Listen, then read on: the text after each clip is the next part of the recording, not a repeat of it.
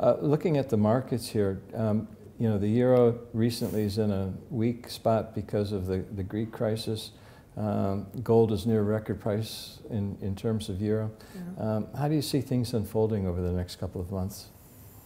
Um, uh, let's start with the stock market here, uh, which is also a leading indicator for the economy.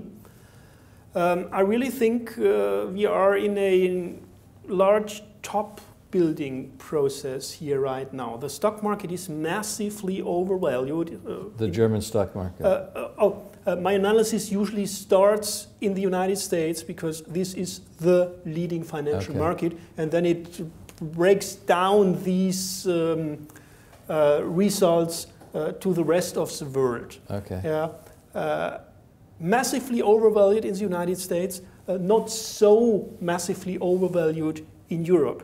But still, history tells us if we have a bear market in the US, uh, Europe will not only follow, Europe will probably again be the high beta market, which means when the United States tumbles 30%, uh, well, the German DAX tumbles 40 or even uh, 50%. percent mm -hmm. Overvalued, drastically overvalued, um, massively technically overbought in all time frames.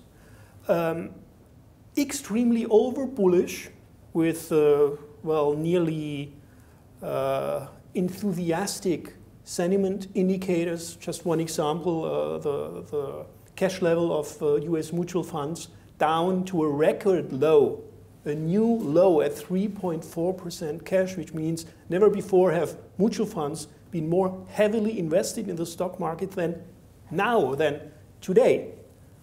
Then we have this rising interest rate environment. We have rising inflationary pressure in terms of uh, uh, PPI and CPI. And uh, all of this makes for a very, very high risk environment.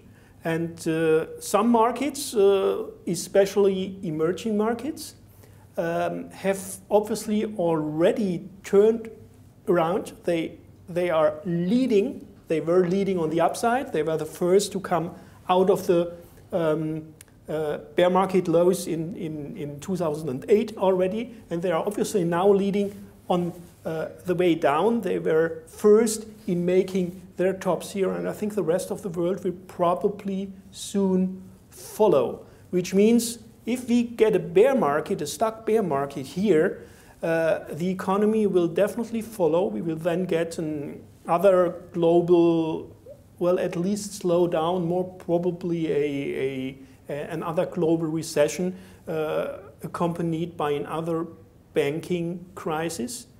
Uh, and then commodity prices, again, will also correct. They will not enter a secular long-term bull market, but they still can have a cyclical uh, correction, which can be relatively severe, as we all know. They are very volatile. Yeah. And, uh, well, in my opinion, it's, it's, it's just gold, which could be, well, the rock in the storm or uh, the rock in the wild sea. The safe uh, haven. Uh, the, the safe haven, exactly because of its safe haven status. It's not just yeah. an inflation hedge gold. Gold is much more. It's a a, a hedge or an insurance against all kinds of reckless policies. Well, and all around us in the world, uh, we have really reckless policies going on. Yeah. So just like a, a, house, which is a tangible asset and provides shelter for you and your family, gold, also a tangible asset, provides financial shelter for you. Exactly. Yeah.